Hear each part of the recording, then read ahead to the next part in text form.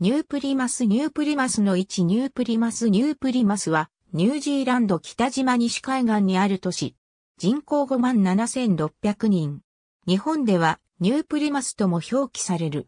首都ウェリントンから約250キロ北西に位置する。南にタラナキ山を望む風光明媚な都市である。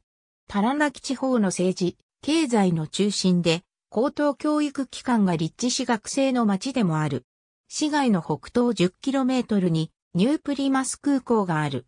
この市はマオリ人とイギリス人の間で行われたマオリ戦争の舞台でもある。欠片の気候区分では西岸海洋性気候であり、気温の年較差が小さい気候である。降水量は年間を通してまんべんなく見られるが、夏と比べて若干冬に雨の降る日が多くなる。日照時間は夏を中心として長く穏やかな気候である。日本の富士山と形状が似ているタラナキ山は2003年に公開された映画ラストサムライのロケ地に選ばれた。